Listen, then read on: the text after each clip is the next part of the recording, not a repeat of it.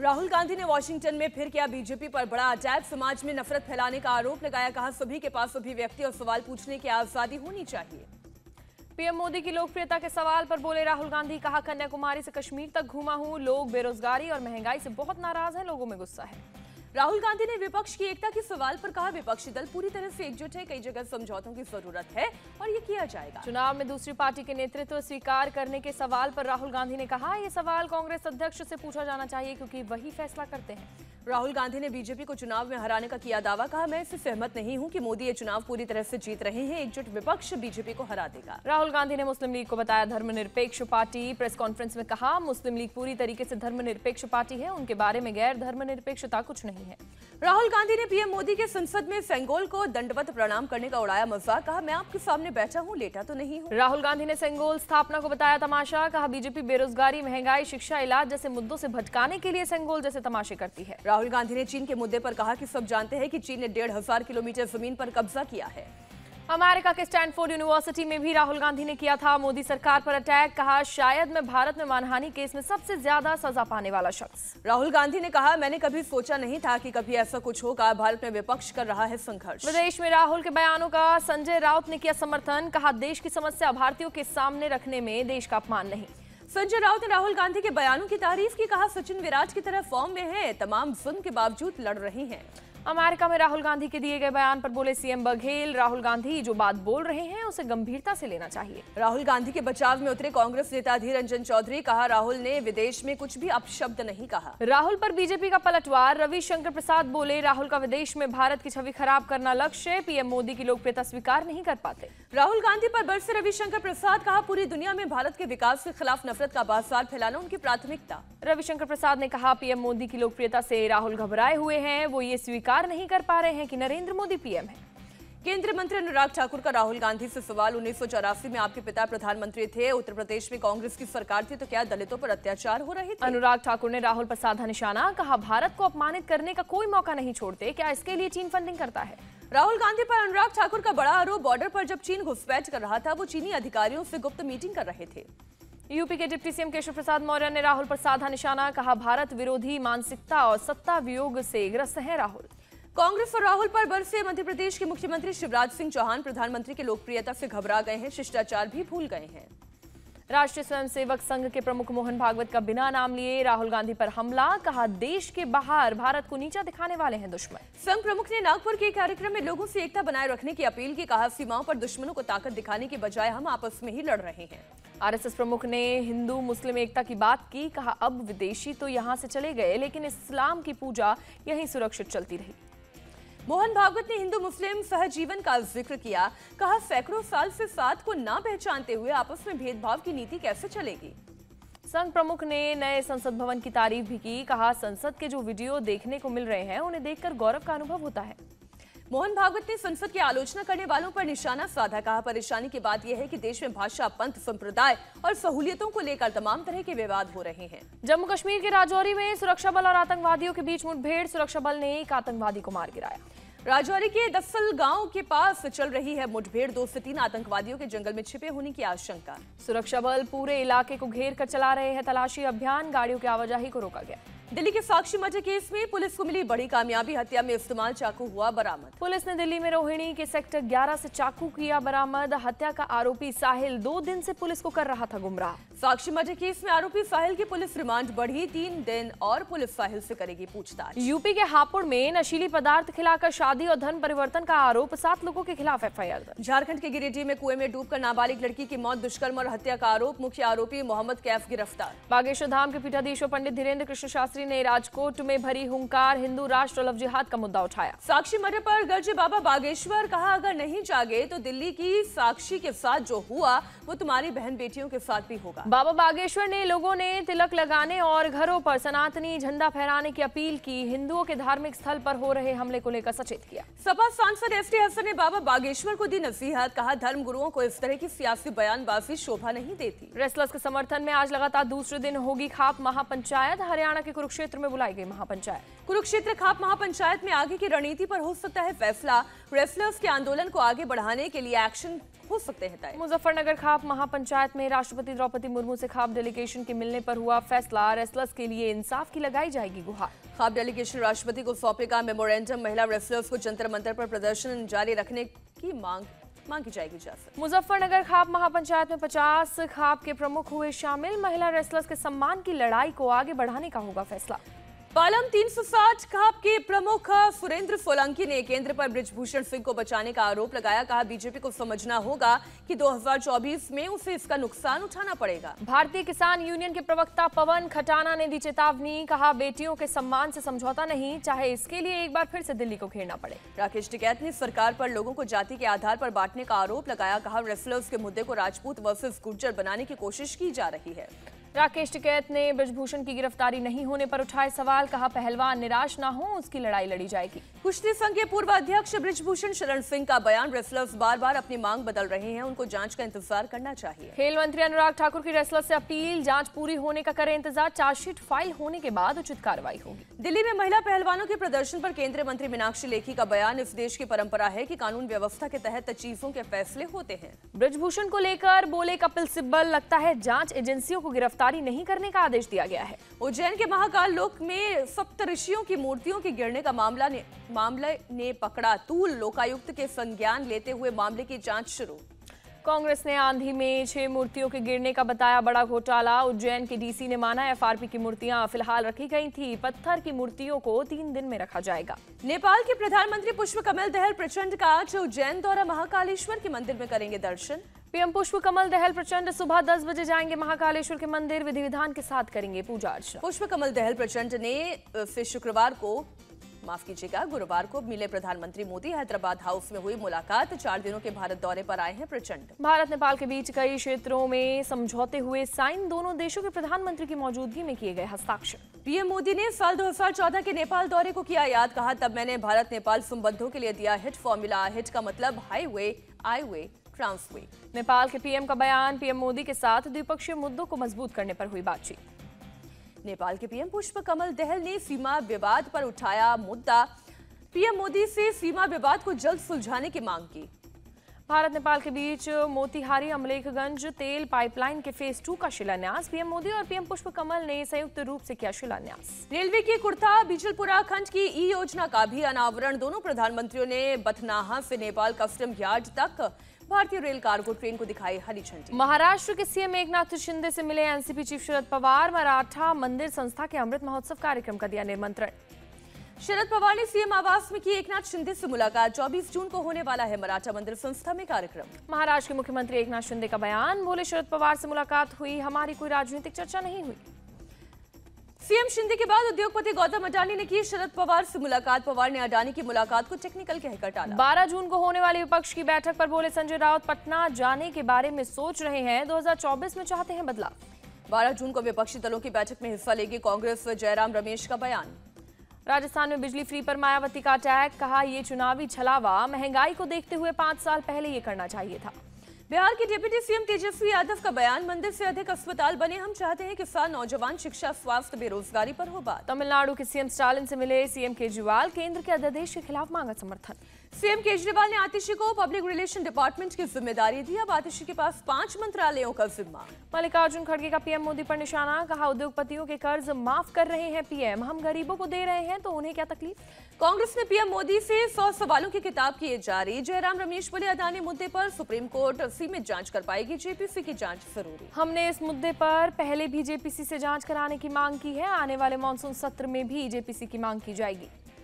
पटना में बैरिया के DPS world school में कैंपस में लगी आग भीषण आग धू धू कर उठी लपटे। आग लगने के बाद पूरे कैंपस में मची अफरा तफरी काफ़ी दूर से दिखाई दी आग की लपटें।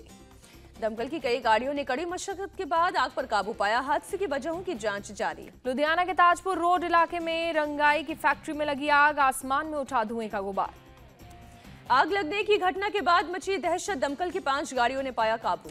मथुरा में तालाब से चप्पल निकालने के दौरान बड़ा हादसा, तीन बच्चों की हुई मौत। गोताखोरों की मदद से सभी को बाहर निकाला गया, शवों को पोस्टमार्टम के लिए भेजा गया। प्रशासन ने पीड़ित परिवार को हर संभव मदद का दिया भरोसा। तीनों बच्चे सगे भाई थे। तेलंगाना के खम्मम में दो सड़क हादसे नाबालिग समेत पाँच लोगों की मौत एक घायल।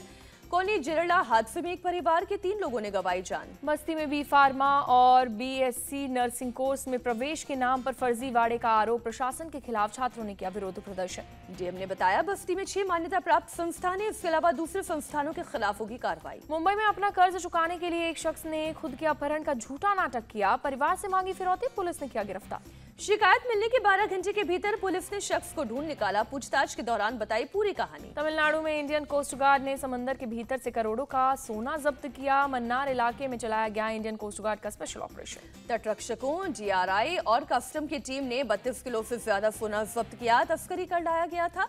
बाज़ार में कीमत करीब 20 करोड़। हरिद्वार में भारी मात्रा में कच्ची शराब की भट्टियों को किया गया नष्ट। पुलिस प्रशासन ने चलाया अभियान। जिला अधिकारी के निर्देश के बाद एक्शन अवैध भट्टियों को नष्ट करने का काम रहेगा जारी। जहाँ भी अवैध तरीके से बेची जा रही है शराब वहाँ भी होगी कार्रवाई प्रशासन की तरफ़ से आया बयान। उन्नीस सौ इक्यासी में दलितों की हत्या मामले में आरोपियों को आजीवन कारावास दस में से नौ आरोपियों की हो चुकी है मौत फिरोजाबाद ज़िले का मामला। बुलंदशहर के बराल गाँव में चार मंदिरों की मूर्तियों की खंडित गाँव के लोगों में भारी गुस्सा। मूर्ति खंडित होने के बाद हिंदू संगठनों का प्रदर्शन गाँव में भारी सुरक्षा बल तैनात। 2000 के नोट बदलने के मामले में जल्द सुनवाई करने वाली याचिका को सुप्रीम कोर्ट ने किया खारिज समर वेकेशन का दिया हवाला।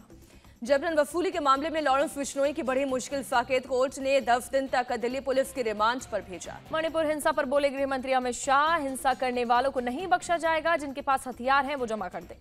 केंद्रीय गृह मंत्री ने कहा मणिपुर में कल से होगा पुलिस को कॉम्बिंग ऑपरेशन जिसके पास मिले हथियार होगा सख्त शाह ने कहा हिंसा की जाँच करेगा न्यायिक आयोग हाईकोर्ट के रिटायर्ड जज की अध्यक्षता में बनेगी कमेटी। पीड़ित परिवारों को 10 लाख का मुआवजा। मणिपुर में हिंसा के बाद बड़ा प्रशासनिक फेरबदल। मणिपुर के नए डीजीपी बने राजीव सिंह। मणिपुर में हिंसा की वजह से यूपीएससी ने अभ्यर्थियों को दिया ऑफ़र। दिल्ली, कोलकाता, मिजोरम, नागालैंड समेत सात जगहों पर चुन सकते हैं सेंटर। कानपुर में बढ़ा गर्मी का कहर। लोगों की बढ़ी परेशानी। भुवनेश्वर में पुलिस विभाग की बड़ी पहल। कानून व्यवस्था बनाए रखने के लिए हाई परफॉर्मेंस वाले जीपीएस लेस ड्रोन को किया गया शामिल। 500 मीटर की ऊंचाई तक उड़ सकता है ड्रोन। हवाई निगरानी में होगा ड्रोन का इस्तेमाल। आज तेलंगाना स्थापना दिवस के मौके पर हैदराबाद में कार्यक्रम। केंद्रीय मंत्री जी किशन रेड्डी ने फहराया तिरंगा। हैदराबाद में तेलंगाना स्थापना दिवस की पूर्व संध्या पर ज़बरदस्त लाइटिंग सरकारी कार्यालयों और प्रशासनिक भवन को तिरंगे की रोशनी से सजाया बेंगलुरु में भारत में ऑस्ट्रेलिया के उच्चायुक्त बैरियो फारेल ने कर्नाटक के मुख्यमंत्री सिद्धारमैया से की मुलाकात। कई मुद्दों पर हुई बातचीत। बीजेपी अध्यक्ष जेपी नड्डा से मिले अमेरिकी राजदूत एरिक गासेटी दिल्ली में बीजेपी मुख्यालय में हुई मुलाकात। केंद्रीय मंत्री मुरलीधरन ने मलेशिया में आसियान भारत व्यापार परिषद से की मुलाकात। आसियान भारत व्यापार और निवेश को बढ़ाने पर हुई चर्चा। पश्चिम बंगाल की मुख्यमंत्री ममता बनर्जी का दिखा अलग अंदाज। कोलकाता में मोटरसाइकिल पर पीछे बैठकर घूमी। श्री राम जन्मभूमि तीर्थ क्षेत्र ट्रस्ट के महासचिव चंपत राय बोले पीएम को पत्र लिखकर दिसंबर में आने का अनुरोध किया। राम मंदिर के उद्घाटन की तारीख अभी तय नहीं। छत्तीसगढ़ के सीएम भूपेश बघेल ने बीजेपी पर निशाना साधा कहा हम सुख दुख में राम को याद करते हैं। बीजेपी सिर्फ़ वोट के लिए राम को याद करती है। कर्नाटक के चामराजनगर में एयरफोर्स का एयरक्राफ्ट क्रैश विमान में सवार दोनों पायलट सुरक्षित हादसे की वजह की जाँच जारी। मध्यम दूरी के बैलिस्टिक मिसाइल अग्नि एक का सफल प्रक्षेपण। ओडिशा के एपीजे अब्दुल कलाम द्वीप ऐसी लॉन्च किया। एयर मार्शल राजेश कुमार आनंद ने संभाला। एयर ऑफिसर इंचार्ज एडमिनिस्ट्रेशन का पदभार रक्षा मंत्रालय ने दी जानकारी। एनसीईआरटी ने दसवीं कक्षा की किताब से पीरियोडिक टेबल डेमोक्रेसी राजनीतिक पार्टी और लोकतंत्र की चुनौतियाँ चैप्टर को हटाया। व्हाट्सएप ने अप्रैल 2023 की रिपोर्ट जारी की। अट्ठानवे लाख अकाउंट को किया गया बैन अमेरिका के राष्ट्रपति जो बाइडेन के साथ हुआ हादसा। कोलोराडो में एयरफोर्स अकेडमी के कार्यक्रम में गिर पड़े बाइडेन भाषण देने के बाद सीट की तरफ़ जाते वक्त राष्ट्रपति बाइडेन का पैर सैंड बैग में फंसा लड़खड़ा कर नीचे गिरे बाइडेन। एयरफोर्स के अधिकारियों ने राष्ट्रपति बाइडेन को सहारा देकर उठाया अकेडमी के ग्रेजुएशन सेरेमनी में भाग लेने के लिए आए थे बाइडेन। सेनेगल में फिर भड़की हिंसा विपक्ष के नेता उस्मान सोनको को भी दो साल की सजा सुनाए जाने के बाद शुरू हुआ विरोध प्रदर्शन। सेनेगल की अदालत ने उस्मान सोनको को युवाओं को भ्रष्ट करने के आरोप में सुनाई सजा लोगों ने की कई जगहों पर आगजनी अमेरिकन एक्टर डेनी मास्टन को लॉस एंजलिस की अदालत ने रेप के दो मामलों में दोषी करार दिया। डेनी को 30 साल तक की हो सकती है सजा। टेस्ला की सीईओ एलन मास्क चीन के दौरे पर पहुँचे। कम्युनिस्ट पार्टी के सचिव जे युकून ने किया जोरदार स्वागत। जीएसटी के कलेक्शन में मई महीने में 12 फ़ीसदी की बढ़ोतरी एक लाख सत्तावन हज़ार करोड़ का हुआ कलेक्शन। भारत में मैन्युफैक्चरिंग सेक्टर की चांदी मई 2023 में मैन्युफैक्चरिंग सेक्टर ने इकतीस महीने की हुई ग्रोथ हासिल ऑटो सेल्स में मई के महीने में बढ़ोतरी दर्ज एसयूवी की बढ़ी मांग। भारत ने जीता जूनियर हॉकी एशिया कप का खिताब। फाइनल में पाकिस्तान को दो एक से दी शिकस्त। भारत को तेरहवें मिनट में पहली कामयाबी अंगद बीर ने दिलाई। अरिजीत सिंह ने बीसवें मिनट में दूसरा गोल दागा। पाकिस्तानी टीम के लिए एकमात्र गोल अड़तीसवें मिनट में बशरत अली ने किया। पाकिस्तान को हराकर भारत ने चौथी बार जीता एशिया कप का खिताब। विश्व कप के लिए भी क्वालिफाई किया। कप्तान उत्तम सिंह ने किया शानदार प्रदर्शन। मैन ऑफ़ द मैच चुने गए।